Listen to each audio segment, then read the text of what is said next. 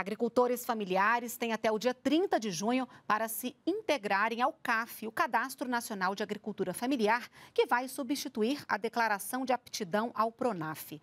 A solicitação deve ser feita na instituição rural da região vinculada ao Ministério da Agricultura.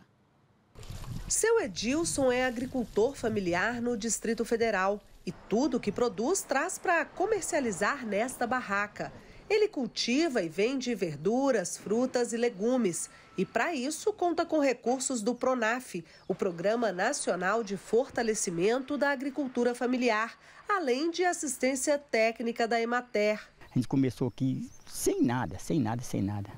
Aí fomos mexendo, mexendo, e a gente procurando ele e tudo, ele sempre junto com a gente. E a gente primeiramente agradece a Deus e depois pelo apoio do seu Joaquim pela Imater. Para ter acesso aos programas do governo federal de apoio à agricultura familiar, o produtor precisa se inscrever em um sistema para comprovar que é o dono da terra e que ela produz e gera renda.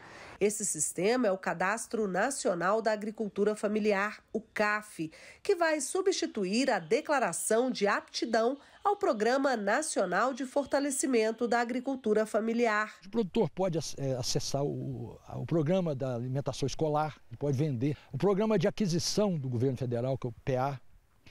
É, o PRONAF, que é esse programa que a gente citou, que é o programa de financiamento de crédito rural é, programas de garantia de safra e outros mais. O prazo para fazer essa substituição termina em 30 de junho. A sugestão nossa para esses agricultores é que levem isso muito a sério, que comprovem tudo. Ele vai ter que estar tá, né, com esses documentos em mãos. A declaração já emitida permanece ativa e o produtor beneficiário continua tendo acesso às políticas públicas pelo prazo de validade estabelecido no próprio documento. Ao vencer esse prazo, ele deve solicitar a inscrição no CAF.